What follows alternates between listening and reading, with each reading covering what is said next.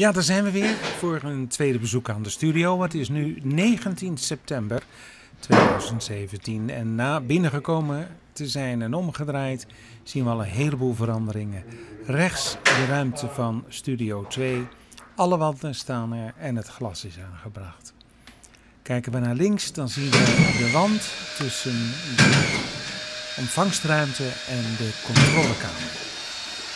En daarachter de ruimte voor de studio, voor de video, de editruimte. We kijken nu vanuit de ontvangstruimte door de controlekamer, waar Willem Hes nu even staat, door de deur naar de omroepruimte. Want ook die wanden zijn helemaal klaar. Het begint steeds meer een studio te worden. Hier kun je goed zien de scheidingswand tussen de controlekamer en de omroepruimte waar de tafel voor het schafte staat.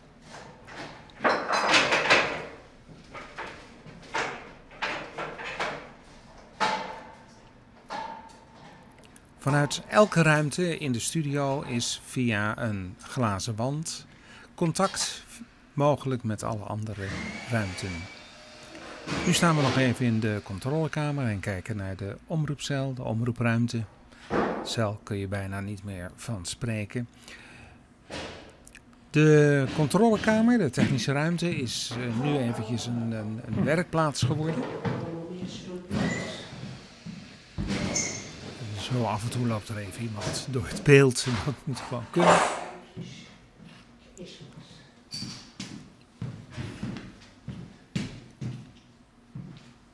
We draaien weer even naar rechts. En met de blik op de omroepruimte, waar ons verzijde nu even iets aan het zoeken is.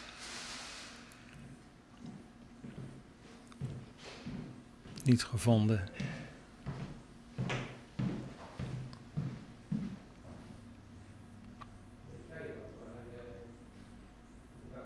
Grote verandering met het eh, vorige videobericht is dat nu alle wanden geplaatst zijn.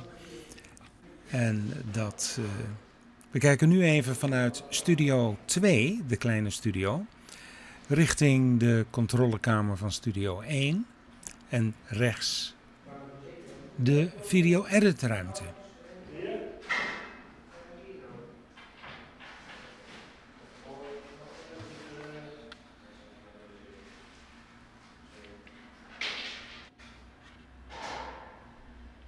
Dan kijken we nu we staan nu in de video edit ruimte en kijken dus direct in de controlekamer van Studio 1 en zien aan de rechterzijde de omroepruimte van Studio 1.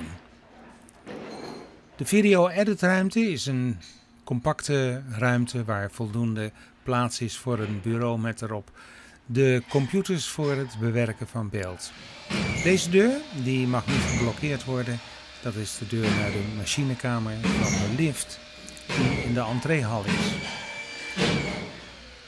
De edit videoruimte kijkt ook op de gang waar je binnenkomt en aan de overkant van de gang Studio 2, de compacte radiostudio.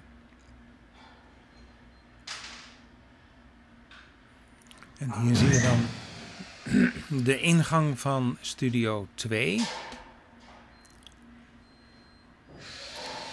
Ruimte die ongeveer vergelijkbaar is met de huidige, met de huidige technische ruimte.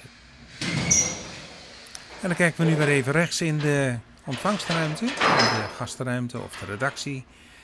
Een multifunctionele ruimte, zal ik dan maar zeggen.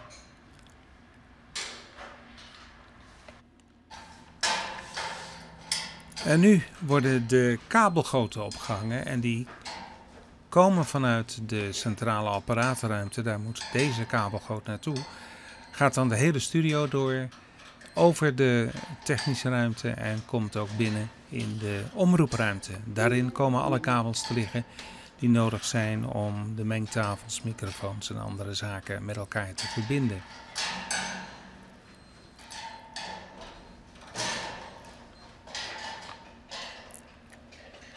Ja, dan wordt het weer tijd om even om maar weer weg te gaan. We maken nog even een uh, visueel rondje. Rechts de video edit ruimte, dat is deze ruimte. En hier de controlekamer, de technische ruimte. De deur staat open naar de omroepruimte.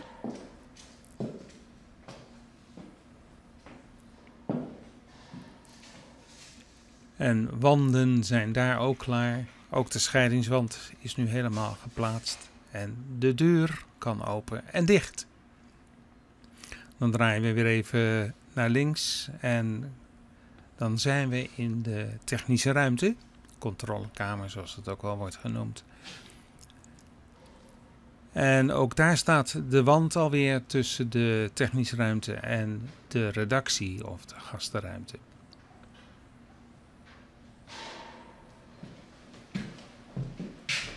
Weer de deur naar studio 2.